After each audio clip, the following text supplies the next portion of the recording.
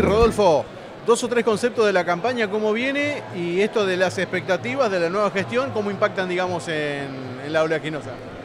Bueno, la campaña, digamos, viene bien, atrasada un poco por el tema del agua y bueno, por, un poco por, los cambios que se avecinan, este, hay como una reacción, por lo menos en la zona más lejos, digamos, de los puertos, que es donde más sensible estaba el tema. Sin embargo, bueno, eh, no es todo maravilla, pero la soja va a ser un récord de siembra, eso lo veníamos diciendo, pero más que nada a expensas de una caída muy grande en maíz. Y después, bueno, se ve como un rebote en las expectativas de siembra de, de maíz, fundamentalmente para maíz tardío.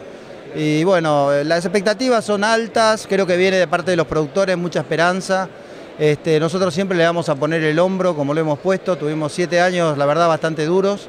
Creemos que ya planificar a mediano y largo plazo una meta de crecimiento, las cadenas van a, colaborar enormemente eso, no solamente la parte agrícola, sino también lo que se genera con nuestra cadena, como puede ser la producción de carnes, ser competitivos en el mundo para poder exportarla. Así que, eh, por supuesto, estamos cerrando un año duro, las empresas están terminando muchas con una pérdida, un quebranto, pero bueno, el futuro se ve mucho más promisorio que antes y bueno, vamos a poner el hombro para que, para que esto sea así.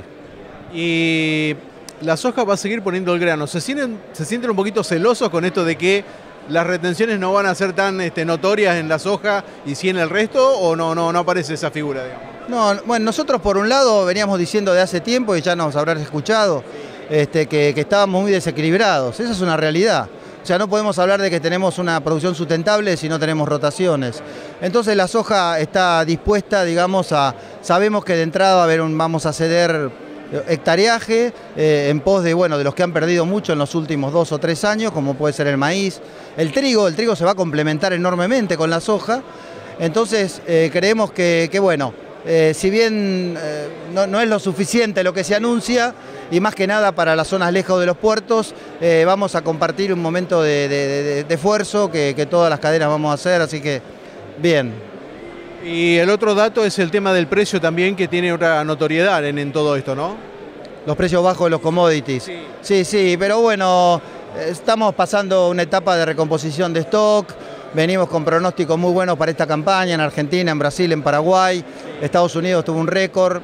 Pero bueno, eh, es la realidad hoy para el productor que tiene que seguir trabajando. La rentabilidad eh, eh, en esos países, básicamente en soja todavía se mantiene, en la Argentina no tanto.